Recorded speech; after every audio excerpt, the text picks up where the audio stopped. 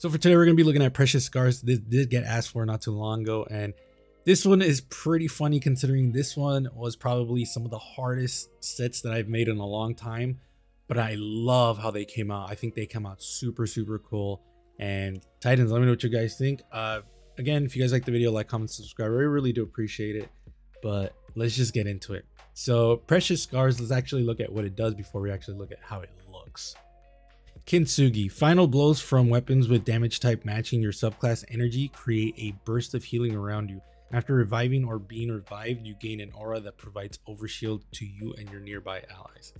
So this is a pretty interesting exotic. I actually did not know about the final blows from weapons. That one, I don't remember that. I thought it was just revivals, but that's really cool. Um, I don't, mm, I'm gonna definitely use this now because that sounds stupid, but that being said, I I will probably use this like in I don't know. It's pretty it's pretty rough. Like I haven't been using this just because I don't really see the need for it. But that being said, now that I know that it does with final blows as well, I definitely thinking about doing that just because that we'll see, we'll see.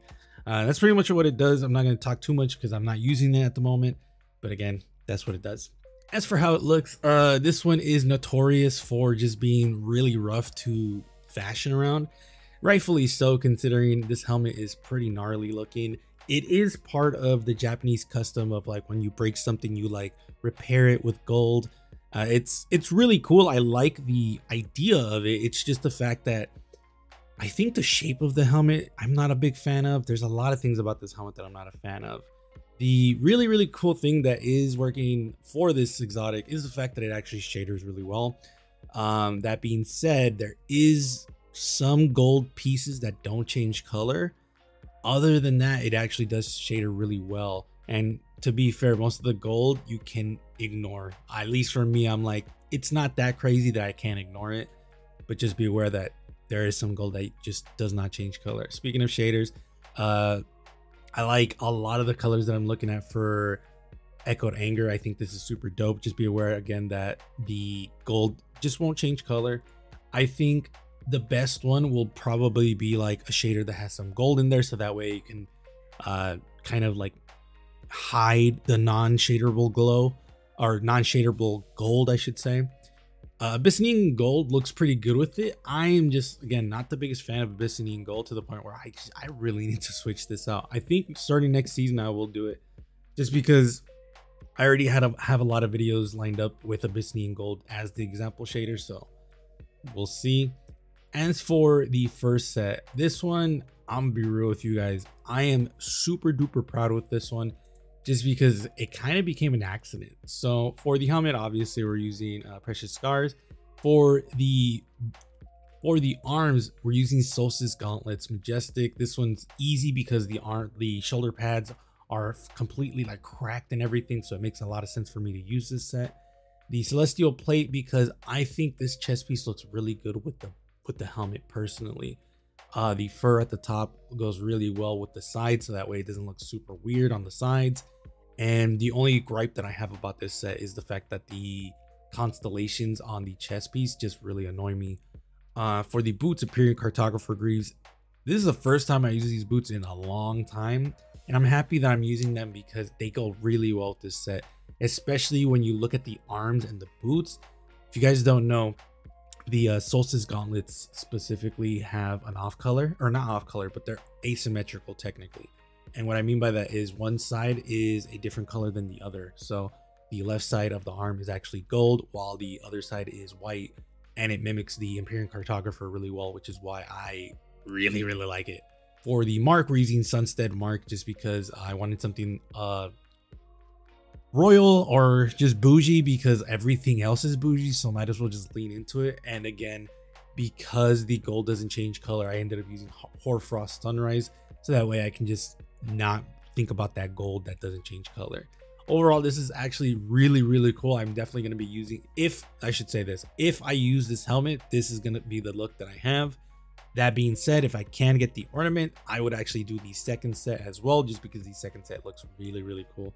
Speaking of which, for the ornament, we're going to be looking at Broken Dreams. This is a really cool ornament. I love the mask. I love the glow. I love the the like cloth bandana on your face.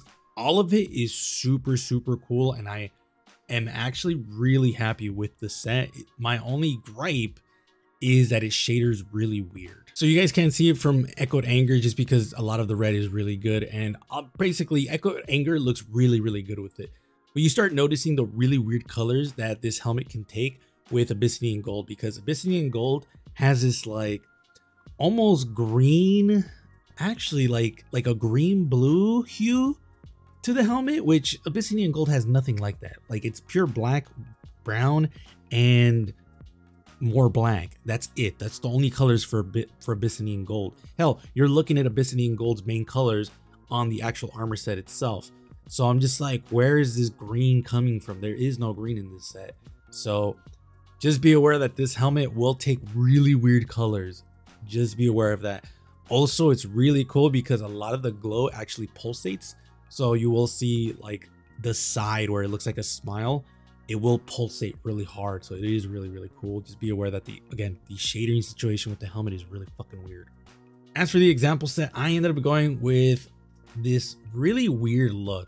So for the shader sinking feeling, just because I wanted like just a shader that's so out there and i just decided sinking feeling is not only new but it's also really out there for the arms using light Lycan gauntlets with the wolf kiss plate with the iron forerunner mark i am actually quite surprised that sinking feeling ended up getting all of these shaders in one color that's that's a really big feat because this shader or the chest piece usually takes the off color of whatever shader you put on. So most of the time, the Lycan gauntlets and the Iron Forerunner will all be different colors because they're not matching the same. This shader does it right, which is uh, also another reason why I'm using it.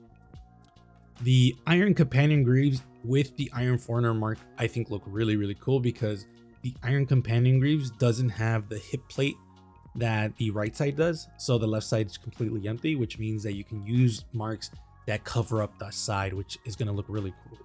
So this is, it's really hard because I do like the first set. But this set looks super, super cool.